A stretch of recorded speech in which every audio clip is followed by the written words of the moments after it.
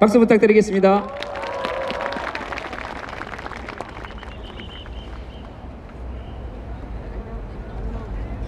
네, 안녕하세요. 네, 어, 서울 한 중학교에서 온 학생입니다. 네. 한 중학교에서 왔습니까? 네, 네, 네. 이제 중2가 돼가지고 교과서를 배우는데 이제 국정화 교과서 얘기가 나와가지고 진짜 제가 중2가 돼가지고 역사 교과서를 배우는데 그렇게 편파적이고 잡, 아니, 우, 우평한데 그런 교과서를 배워야 되나 걱정이 되고 어, 조금 심적으로 부담이 됩니다. 죄송하게 생각합니다. 안 그래도 바쁘실 텐데 심적으로 부담이 되시게 해서 굉장히 죄송합니다. 아, 정말 중2에게 심적으로 부담을 끼친 것은 그것은 우리 헌법 34조 모든 국민은 인간다운 생활을 할 권리를 가진다는 것을 위반한 것이기 때문에 정말로 어른들이 죄송하게 생각합니다. 네, 계속해서 말씀하십시오. 아, 물론 저도 부담이겠지만 앞으로 고3이 돼가지고 수능을 볼 선배들은 얼마나 더 힘들지 걱정도 됩니다. 예, 고3의 심적 부담까지 고려해 주셔서 정말로 감사드립니다. 네. 공부가 정말 안 됩니다.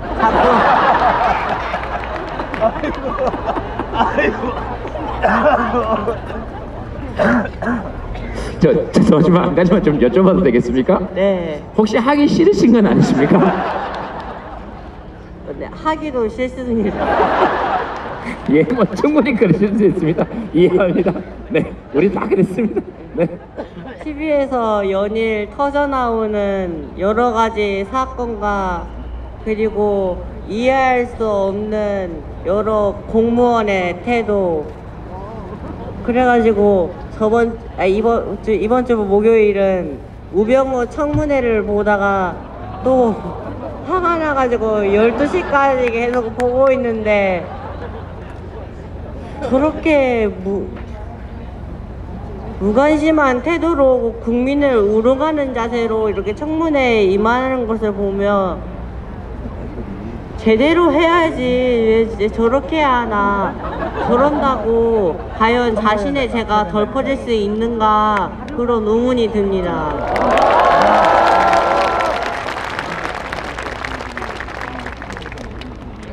어, 정말 박근혜 정부 동안 여러 가지 일들이 일어났습니다. 세월호, 메르스, 그리고 요즘 AI도 독감이고, 인간도 독감 걸리고, 진짜. 6.25 전쟁 이후로 최대의 위기가 박근혜 정부에서 몰려오는 것 같습니다.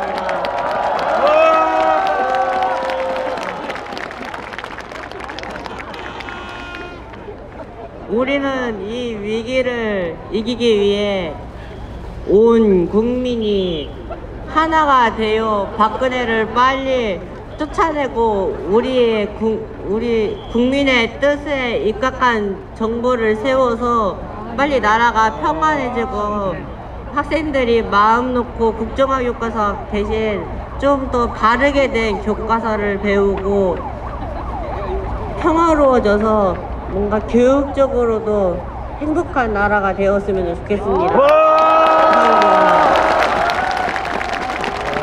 네, 감사합니다. 마이크 잠깐 들고 계시겠습니까? 아, 자, 아, 이름 여쭤 어, 보면 안 되겠죠? 아, 괜찮아요. 그렇습니까? 네. 이름이 어떻게 되십니까? 오정태요. 네, 네. 어, 정태, 어, 정태 씨 이야기. 정태 씨, 정태 군, 뭐 정태 어느 게 편하십니까? 아, 아무거나 괜찮습니다. 그렇습니까? 너그러운 마음에 제 심적인 부담을 덜어주셔서 감사합니다. 정태, 정태 씨라고 하겠습니다. 민주공화국의 시민 동료니까. 어, 그 제가 어, 농담 반 진담 반 삼아 중학교 1학년이 되면 교육감 투표권 줘야 되지 않냐? 에, 그 그건 정말로 그죠? 어 그렇고 고등학교 2학년 되면 우리 대표 저 대통령 투표권 주자 그랬는데 제 이야기보다 훨씬 더 어 그 우리가 어른이라고 할 자격이 있을까 싶을 정도로 아주 정확하게 핵심을 짚어내줘서 우리가 오히려 아, 되게 많이 배우죠. 네, 정태 씨에게 진심으로 감사드리고요.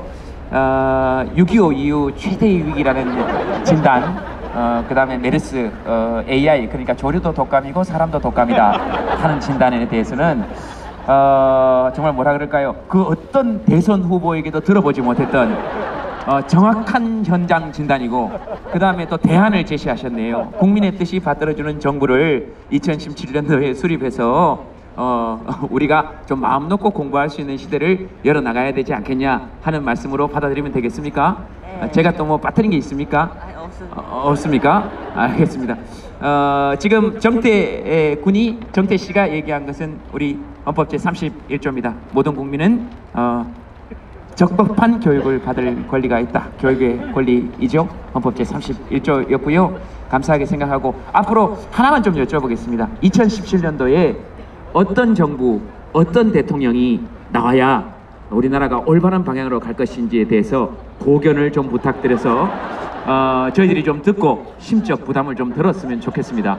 오늘 저 어, 정태 씨 의견만으로도 저희들이 사실 심적 부담을 많이 들었는데 어, 좀그 높은 의견을 좀 구하고 싶어서 좀 부탁드리겠습니다. 고견이라고 말하기엔 좀 민망하지만 어 모든 국민의 뜻을 받아들일 수는 없지만 이렇게 대다수의 의견을 존중할 수 있는 그런 대통령이 돼, 돼야 할 것이고 이번 사태에 대한 공동 책임을 갖고 있는 저기 빨갱이 당에 새누리 당에 관련되어 있는 사람들은 절대로 되면 안 된다라고 생각을 합니다. 그리고 저쪽 우리 유엔 사무총장에서 내려오신 그 기름 장모님께서는 저쪽 자꾸 간 보고 이렇게 해가지고 안 그래도 흙탕물인 곳을 더욱 헤집어 놓지 말고 앞으로 처신을 어떻게 해야 할지 잘 생각해서 조금 차분하게 행동하셨으면 좋겠습니다. 나이도 많으시고 그렇게 품위도 이렇게 열심히 지키고 계신 분이 스스로 나서서 자신의 품위를 깎을 필요는 없다고 생각합니다. 제대로 된 정부가 만들어지길 기원합니다. 감사합니다. 어, 조금 종합하고 어, 죄송하지만 에, 조금 더 해도 되겠습니까? 그냥 오늘 손석희의 뉴스룸이다 생각하시고 어, 조금 조금 인터뷰를 조금 조금 하도록 하겠습니다. 어, 거의 뭐 그냥 저를 손석희다 이렇게 손석희 아저씨다 이렇게 생각하시고 말투도 제가 좀 그렇게 바꿔드리겠습니다. 그 말씀 잘 들었고요. 어, 요약해 보면 이렇습니다. 어, 그 빨갱이 당이라고 하셨는데요. 어, 그건 어쨌든 저희 방송국의 의견과는 상관이 없는 것이고요. 아마 색깔을 말씀하신 거죠? 색깔도 그렇지만 이번에 박근혜 편지가 공개되지 않았습니까? 거기서 친북적인 그런 여러 가지 단어와 내용이 보면서 내용을 보면서 진짜 통화찐보다는 아무것도 아니다. 진짜 빨갱이는 그들이다. 그렇게 생각하고 있습니다.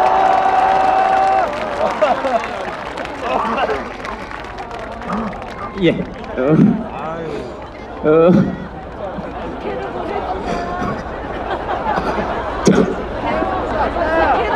저는 오늘 은퇴를 선언합니다. 당황했네요. 아, 알겠습니다. 어, 그 종합해 보면 어, 내용이 이- 이랬습니다. 내년에 국민 대다수의 에, 모두의 의견을 받아들이기는 힘들지만 국민 대다수의 의견을 존중해주는 정권이 생겼으면 좋겠고 소수의 의견도 무시하지 않겠지만 국민 대다수의 의견이 받아들여지는 정권이 만들어졌으면 어, 좋겠고 그리고 적어도 그 정권의 공동 책임을 가지고 있는 빨간색을 당 색깔로 사용했던 새누리당은 참가하지 않는 것이 옳다고 생각하고 그 다음에 유엔 사무총장을 지내셨던 반기문 사무총장께서는 막 품위도 누리셨고 권위도 누리셨으니 스스로 내려와서 안 그래도 지금 우리 어, 어지러운데 흙탕물을 일으키지 말고 스스로의 품위를 지키시는 것이 유엔 사무총장으로서의 어, 최소한의 품위를 지키는 것이 아닌가 어, 유엔 법에도 그렇게 나와 있으니까 어, 그런 얘기로 받아들이면 되겠습니까? 네. 제가 정리가 됐습니까? 좋습니다. 그러면 어, 지금 이 지금 방금 말씀드린 건제 개인적인 의견과는 전혀 관계가 없다는 것을 다시 한번 여러분들께 말씀드리고 저는 다만 정리를 했을 뿐이며 어, 우리 민주공화국 시민의 한 의견이라는 것을 말씀드립니다. 정치적 견해는 누구나 밝힐 수 있는 것이죠. 우리 헌법 제21조에 따라서 언론, 출판, 집회, 결사의 자유를 가지고 있고 모든 국민은 말할 자유를 가지며 나는 나의 생각을 말할 권리가 있고 당신은 당신의 생각을 정치적 견해를 말할 권리가 있고 나는 당신의 생각에 반대할 권리도 있고 당신도 나의 생각에 반대할 권리가 있으나 누군가가 당신의 말할 권리 그 자체를 뺏으려고 한다면 기꺼이 당신 편에 서서 함께 싸우겠다 하는 것이 우리 헌법 21조의 정신 아닙니까? 그러니까 견해를 말할 수 있는 것이죠. 네. 혹시라도 정치적 견해가 다르시더라도 받아들일 수 있는 것이죠. 서로 토론할 수 있는 것이니까. 자, 그러면 마지막으로 이제 시간이 거의 다 됐어요. 에, 뭐 마지막으로 질문 하나만 드리겠습니다. 짧게 좀 부탁드릴게요. 어, 그 야당 대선 후보들에 대해서도 간단한 평을 좀 부탁드리겠습니다.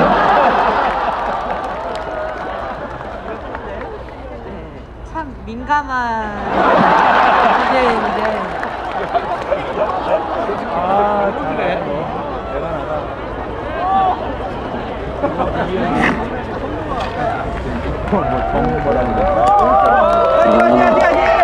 개인의 견해니까요. 충분히 얘기할 수 있죠. 네, 네, 개인의 견해니까. 네. 개인의 견해가 아니라 사실에 입각한 네, 네, 네, 네, 사실에 입각한 개인의 견해. 네, 이렇게 혼란한 시국을 틈타서 자신이 단연이 될 거라는 그런 생각을 버리고 진짜 이 시기에 국민이 원하는 대통령이 누구인지 생각하면서 그 진짜 국민의 국민을 위한 대통령이 되어야 하는 그런 자세가 필요할 것 같습니다.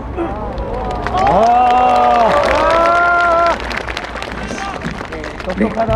어, 더 하실 말씀 없으십니까? 없습니다. 알겠습니다. 어...